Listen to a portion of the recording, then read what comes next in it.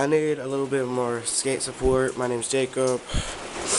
Um, on my ollies, because I know you do a lot of ollie videos. I'm sorry for another one. um, I can't seem to get them down. I mean, I've done all of the steps that you said in your ollie tutorial. I've been trying. I've had friends try to teach me. I just can't seem to do it.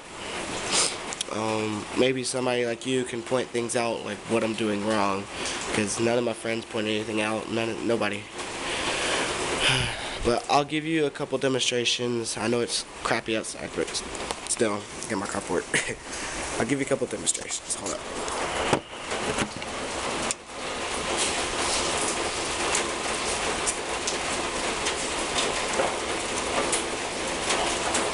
Go.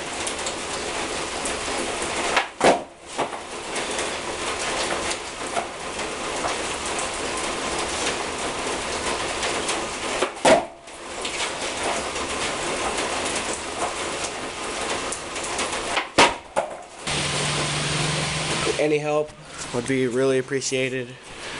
Uh, hopefully you reply to this. Hopefully you upload this, whichever. It doesn't matter. Alright. Well, help would be really appreciated, bro. Okay, great. Thanks a lot for sending your video. I really do appreciate it. So on this first ollie, we just have to work on that motion of your front foot sliding up the board a little better. So that's what we got to do there. And on this one, it was a lot better. So let's check this out. Your front foot slides up the board on that one, and you actually level out quite good there. I don't actually see a whole lot of problems with that second ollie. A lot of times I'll get these ollie videos sent in to me talking about how horrible their ollies are or how they can't do it and they just can't work it out. And then they show me them attempting the ollie and then they ollie. It's kind of like once you're able to get all four wheels off the ground, you can ollie. So that's all there is to it. I mean, there's varying degrees of ollieing height and ollieing with speed and all these different things. But yeah, once you get all four wheels off the ground, you've got it, bud. Cool, so this is what I want you to do. I want you to stand still and I want you to roll your front foot up the board just like I was doing. I don't show these just because I want to show you how the trick works. I'm actually showing you these steps because I want you to do them to practice. So stand still and just roll your front foot up the board over and over and over and over and over. Let's do it for, uh, let's say, five minutes straight without doing anything else. Time yourself, and just stand still on your board and roll your front foot up for about five minutes straight until you really get that motion down. So once you got that motion down, then you can go back to keep continuing to practice the full ollie.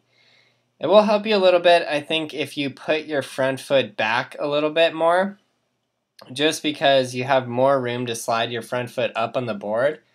And really, again, it's that slide of your front foot that's going to pop your board up into the air.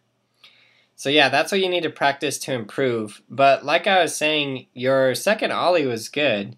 I mean, your second ollie could take you over a crack, it could take you over a hose, um, could probably take you over a skateboard lying on not the wheel side but on the grip tape side if you were able to do it with some speed. So, yeah, if I were you, honestly, I would just push around on that board, get outside and push everywhere, and start practicing doing ollies while moving. It's more like you don't need help with your ollies, you need help taking your ollie to the next step doing higher ollies, olling over things, olling up curbs and things like that. But the more practice you get on just olling while moving, the easier all of the above will become. So yeah, that's my suggestion for you. So practice those tips and then get your ollies down and then start doing them downstairs and other things like that once you really have them. Cool, so for any of you guys working on the basics of skateboarding, I highly recommend checking out Skateboarding Made Simple. It breaks down every one of the tricks so that you can practice it without having to attempt the full trick, and it will just help you progress super fast in your skating. So get the video today.